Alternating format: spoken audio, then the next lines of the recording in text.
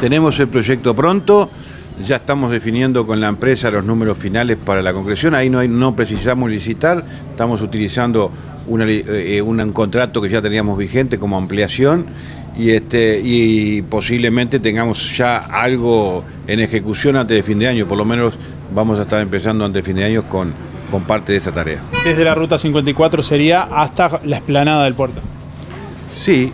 sí, sí, sería ese bypass que de alguna manera se está construyendo, este, que ha venido trabajando el ingeniero Lema con la gente de la empresa y este, está definido ya el, proyecto y esperemos que podamos empezar. Igualmente, eh, ustedes habrán visto que la circulación de camiones todavía en el lugar no es muy fluida, creo que todavía eh, ha, costado acostumbrar al,